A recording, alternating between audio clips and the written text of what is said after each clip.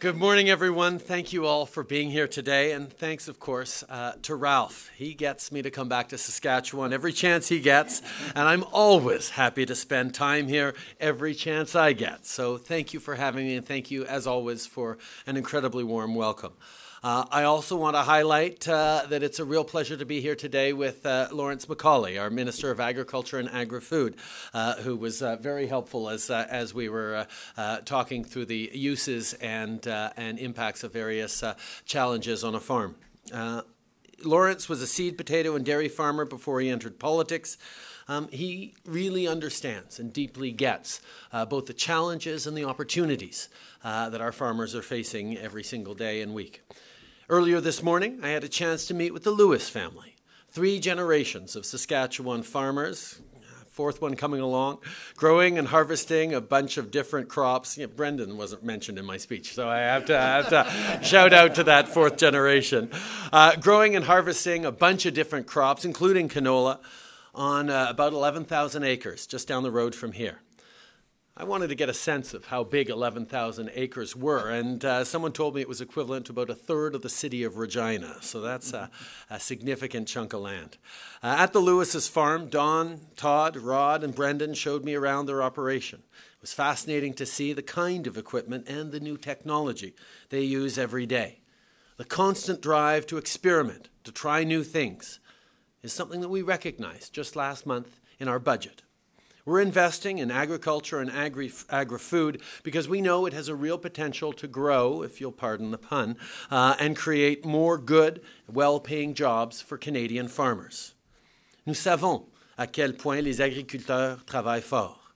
C'est pourquoi nous sommes convaincus que d'ici 2025, nous serons en mesure d'atteindre la cible ambitieuse d'exporter annuellement 75 milliards de dollars d'excellents produits que nous cultivons ici, chez nous. Ces exportations sont importantes parce qu'un plus grand accès aux marchés mondiaux donnera aux agriculteurs canadiens plus de chances de réussir, plus de chances de bâtir une vie meilleure pour leur famille et de renforcer les communautés agricoles partout au Canada. And canola, as I saw firsthand today, is one of the export crops that deserves our support. It already accounts for more than $10 billion in exports, and the world can't get enough of this made in Canada crop. As one example, last year, as, as uh, Ralph mentioned, government and industry worked together to ensure that Canada's canola farmers can continue to export to China. That's a market worth $2 billion in canola exports every year. And I want to take a moment to tell you just how that deal came together. Our former Minister of Trade, current Foreign Minister, Chrystia Freeland, is the daughter of a canola farmer and she took some of the canola that her dad had grown out of his farm in Peace River, Alberta. She took it with her in a little baggie to China uh, to show the quality of what Canadian farmers produce. I was there at the dinner when she whipped it out in front of, uh, in front of the premier and said, You know, this is really good stuff. Um, and she underscored the fact that Canada stands behind its farmers and the world class crops we grow and harvest and working together, industry and government, we reached an agreement with China. That gives one that gives our canola farmers the kind of stable, predictable access to the Chinese market that they'll need to be able to plant next year's crop. And maybe even think about how they'll hand off their farms to their own kids someday.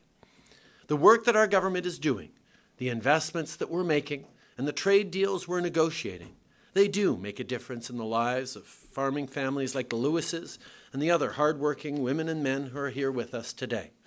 We make these investments in Canada's farmers because every day you make an investment in us, in making sure that we have good, healthy food to eat, in giving us food that we can trust, food that's nutritious and safe to share with the people we love, in building strong and resilient communities, communities like Gray, that are the heart and soul of this country. People like Todd Lewis and all the farmers he represents through the Agricultural Producers Association of Saskatchewan, they're up with the sun, they work hard all day, and they ask for nothing but a fair deal and a thank you. And that's where I want to end today. With thanks to the Lewis family for sharing their morning with me, and to all the farmers here and across the country who are so and rightly proud of your rural roots. We should be proud. We're proud of them too.